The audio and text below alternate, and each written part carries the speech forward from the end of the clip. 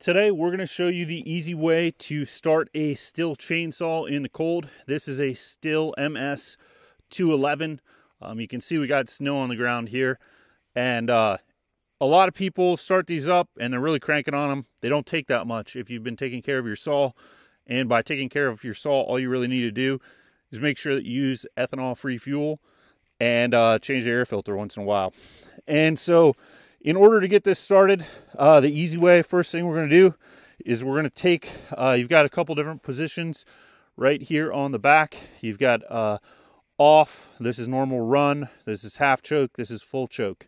We're going to go all the way down to full choke. In order to do that, you need to grab on to the handle here, press down this lever on top, and pull the trigger at the same time. And that enables you to go to full choke. We're all the way down there at the bottom. And uh, now that is locked in place. So what I'm going to do, if I'm going to start this up in the cold or when the chainsaw itself is cold, I'm just going to, uh, while it's in full choke, I'm going to pull the handle like three times. Uh, so we're going to go one, two, three. And uh, what that does is primes it uh, with the choke and uh, gets everything ready in there and kind of lubricates the cylinders uh, with the 50 to 1 gas. Now that I've pulled it three times, I'm just going to put it to half choke, which is right there, okay? I flipped it up from full choke to half choke. That's that half choke position right there. Now this thing is ready to start up. Make sure you have your chain brake on or that saw is going to start spinning. That uh, saw blade right there is going to start spinning or the saw chain. Now this thing's ready to start. You do not need to hold the handle. That's a mistake that a lot of people make. They pull down the trigger and the handle. Do not do that. If you want to start this up the easy way in the cold, you're just going to pull this handle right here. So make sure that you've got it uh, held down some way. And now we're going to pull, okay? One,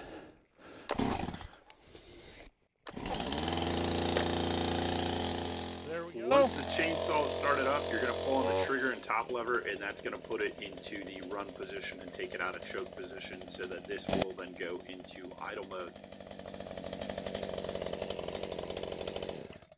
Okay, then we're going to flick it to off. So you saw I did that in like two or three pulls. I see people pulling on their chainsaw like 50 pulls. It shouldn't be that hard to start a chainsaw, even in the cold. The temperature right now is uh, 20 degrees or so, and that thing started right up uh, from being completely cold, no issues. So the key is follow these steps. That's the easy way to start up your Stihl chainsaw. That should work with most chainsaws uh, from Stihl. Now this is the MS211. Uh, love this little saw. A lot of people are always like, oh, get the biggest bar length, the most horsepower uh, saw that you can use. Well, I'm going to tell you that if you're using a saw all day, you actually want one of the lightest saws that you can get. Now, this video isn't for people who are professional foresters and all that. Good for you. You know way more than me about any of this stuff. You use it every day.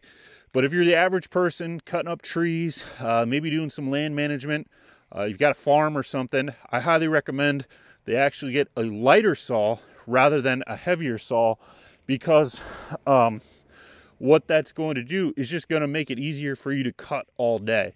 If you're cutting a lot of trees, doing a lot of firewood, you're going to notice these things get really heavy. Um, and while it's great to have a, you know, 30 inch bar on there, the odds are that you're not cutting 30 inch trees all day.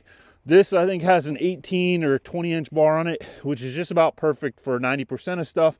And then you can get out a bigger saw when you need it and uh, not wear yourself out all day. So love this little uh, Stihl MS211. I like it more as time goes on because of how lightweight and compact it is. And I find that I can get most stuff done with this. And I've cut bigger trees with it or down logs with it, uh, bigger than the bar. You just have to make multiple passes. But uh, I find that because it is so compact and lightweight that I end up leaning towards grabbing this over a bigger saw because of how much more comfortable it is. Um, so thanks for watching how to start up your Stihl chainsaw the easy way uh, when it's cold. Thanks for watching and we'll see you next time.